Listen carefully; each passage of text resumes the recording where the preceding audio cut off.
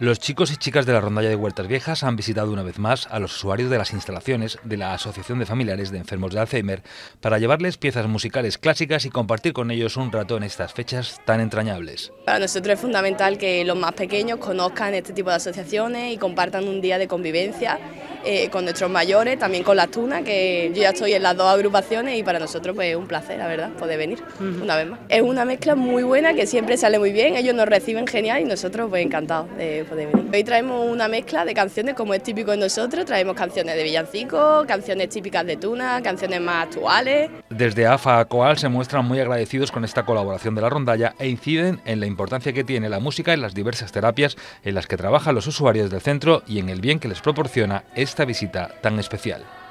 Parece ser, ¿no? según hay estudios, ¿no? que el sentido de la música son de, los últimos recuerdos que, se olvidan.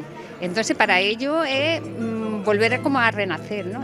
volver a empezar a ser niños, a, a, ser las personas que siempre han sido. ¿no? Para todos la música forma parte de nuestra fiesta, de nuestra de la festividad en general, ¿no? de la alegría. Entonces, la música, sumado a ello, alegría vaya, permanente.